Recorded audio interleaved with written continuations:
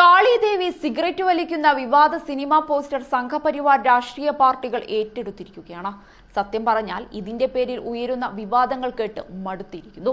വിവാദ പോസ്റ്ററിൽ Trinamool Congress M P Mahua Moitra നടത്തിയ പരാമർശത്തെ ചുറ്റിപ്പറ്റിയുള്ള വിവാദങ്ങൾക്കിടെ പ്രധാനമന്ത്രി നരേന്ദ്രമോദി ഞായറാഴ്ച രാമകൃഷ്ണ മിഷൻ സംഘടിപ്പിച്ച ഒരു പരിപാടിയിൽ നടത്തിയ പരാമർശമാണ് ഇപ്പോൾ തൃണമൂൽ കോൺഗ്രസും ബി തമ്മിലുള്ള പുതിയ വാക്പോരിന് തുടക്കമിട്ടത്.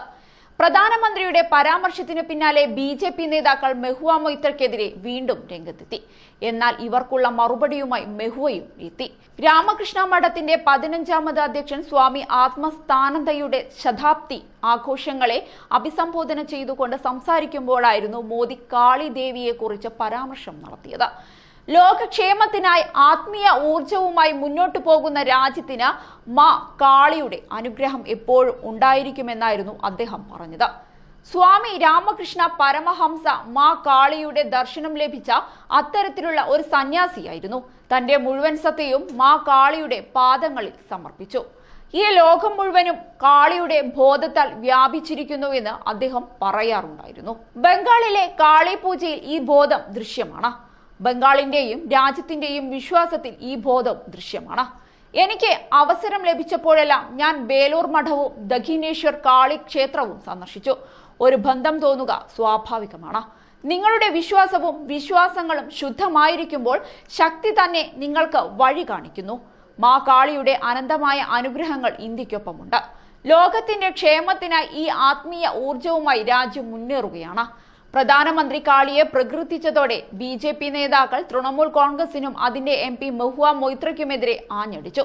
പ്രധാനമന്ത്രി നരേന്ദ്രമോദി ബംഗാളിന്റെ മാത്രമല്ല ഇന്ത്യയുടെ മുഴുവൻ ഭക്തിയുടെ കേന്ദ്രമായ മാ കാളിയെക്കുറിച്ച് ഭക്തിപൂർവം സംസാരിക്കുന്നു. മറുവശത്ത് ഒരു T M C M P Maa കാളിയെ അപമാനിക്കുന്നു.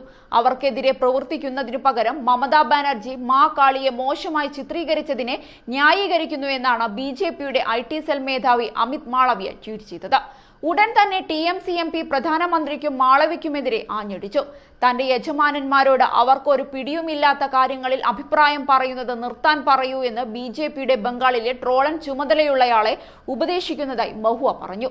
കഴിഞ്ഞ വർഷത്തെ നിയമസഭാ തിരഞ്ഞെടുപ്പ് പ്രചരണ വേളയിൽ മമതാ ബാനർജിക്കെതിരെ പ്രധാനമന്ത്രി നടത്തിയ ദീദി ഓ ദീദി പരിഹാസത്തിനും മഹുവ മറുപടി നൽകി. ഇങ്ങനെ പോയാൽ മാ ഓ മാ ബി ജെ പിക്കാരുടെ നെഞ്ചിൽ കാലുറപ്പിക്കുമെന്നാണ് മഹുവ പറഞ്ഞത്.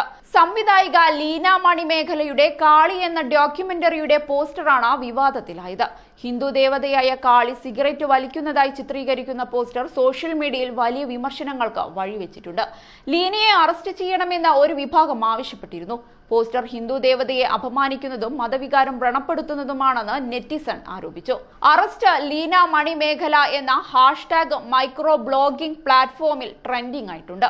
ലീന മണിമേഖല ഡോക്യുമെന്ററിയുടെ പോസ്റ്റർ സോഷ്യൽ മീഡിയയിൽ പങ്കുവച്ചതോടെയാണ് വിവാദം പൊട്ടിപ്പുറപ്പെട്ടത്. കാളിദേവിയുടെ വേഷം ധരിച്ച ഒരു സ്ത്രീയെയാണ് പോസ്റ്ററിൽ ചിത്രീകരിച്ചിരിക്കുന്നത്.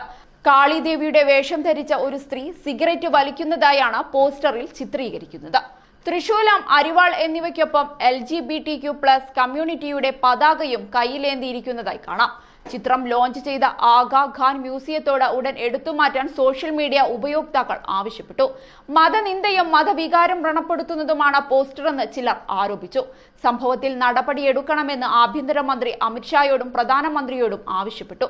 എന്നാൽ വിമർശിക്കുന്നതിനു മുൻപ് ആദ്യം ഡോക്യുമെന്ററി കാണുമെന്ന് ലീന മണിമേഖല പറഞ്ഞു. ഒരു സായാഹ്നത്തിൽ കാളി പ്രത്യക്ഷപ്പെടുകയും ടൊറന്റോയിലെ തെരുവുകളിൽ ഉലാത്തുകയും ചെയ്യുന്ന സംഭവങ്ങളെക്കുറിച്ചാണ് ചിത്രം പറയുന്നത്. നിങ്ങൾ സിനിമ കണ്ടു കഴിഞ്ഞാൽ അറസ്റ്റ് ലീന മണിമേഖല എന്ന ഹാഷ്ടാഗ് നിങ്ങൾ ലവ് യു ലീന മണിമേഖല എന്നാക്കി മാറ്റുമെന്ന് ലീന ട്വീറ്റ് ചെയ്തു. സസ്പെൻഡ് ചെയ്യപ്പെട്ട ബി ജെ പി വക്താവ് നുപൂർ ശർമ്മ പ്രവാചകൻ മുഹമ്മദ് നബിയെ കുറിച്ച് നടത്തിയ പരാമർശങ്ങൾ അന്താരാഷ്ട്ര തലത്തിൽ വിവാദമായിരിക്കെയാണ് കാളി എന്ന ചിത്രത്തെ ചൊല്ലിയുള്ള മറ്റൊരു വിവാദം. എന്താണ് മതനിന്ദ? എന്താണ് ആവിഷ്കാര സ്വാതന്ത്ര്യം? എന്നതിനെക്കുറിച്ചുള്ള ചർച്ചകൾക്കും ഇത് തുടക്കമിട്ടിരിക്കുകയാണ്.